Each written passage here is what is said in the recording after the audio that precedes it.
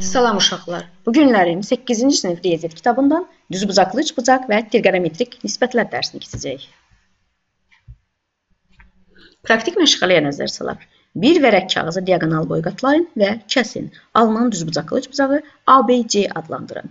Gördüyümüz kimi bizim vərəqimizdir. Onu diaqonal boyu kəsib qatlayıb, qatlayıb kəsmişik və yekunda tutacaqlı üçbucaq almışıq.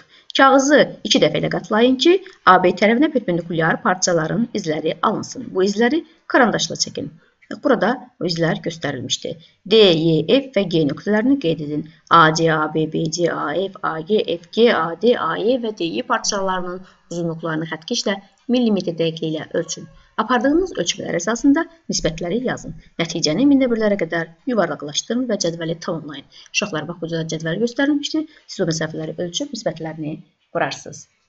Və sonra təqribi qiymətini tapıb yuvarlaqlaşdırarsınız. Nisbətlər haqqında fikirlərinizi ümumiləşdirin. Bu bucaqlarda bucaq haqqında hansı fikir söyləmək olar? Trigonometriya qədim Yunan sözüdür.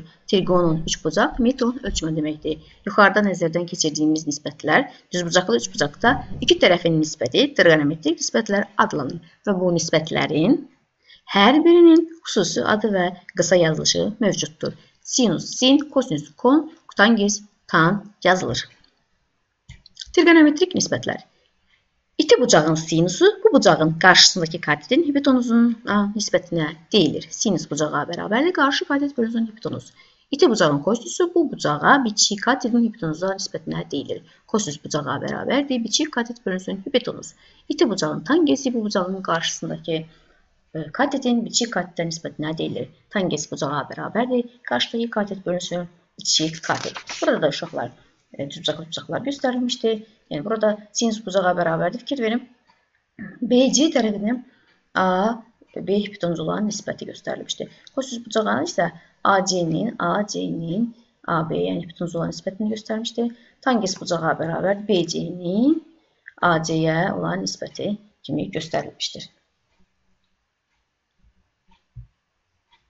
Öyrənmə tapşırıqlarına nəzər salaq. Şəkildə üçbucaq ABC və üçbucaq ABB bir C1 göstərilmişdir. Bu bucaqlar oxşardır. A və A1 bucaqlarının sinus, kosinus və tangesini tapın. İndi baxaq uşaqlar. Bax bizim düzbucaqlı üçbucağımız. Düzbucaqlı üçbucaqda bucaq qarşıdakı katetin hipotenuzu olan nisbətinə bucağın sinusu deyilir. Deməli sinus bucağa bərabər 4-ün 5 olan nisbətinə. E, kosinus nəyə deyildi? İti bucağa bitişik katetin hipotenuzu olan nisbətinə. Deməli 3-ün 5 olan nisbətinə. O deyil 5-də 3. Tanges nəyə bərabər oldu? Bucaq qarşıdakı katetin bitişik katda olan nisbətinə, yəni 4-ün 3-ə nisbətinə. Kotangiz tapmış olsaq, onda olacaq 3-ün 4-ə nisbəti kimi göstəriləcəkdir. Burada da deməli e, sinus olacaq. Bucaq, iti bucağın qarşıdakı katetin hipotenuzu olan nisbəti 8-in olan nisbəti. Kosinus olacaq bucağı axtarsam. Bitişik katetin hipotenuzu olan nisbəti, yəni 6-nın ona nisbəti.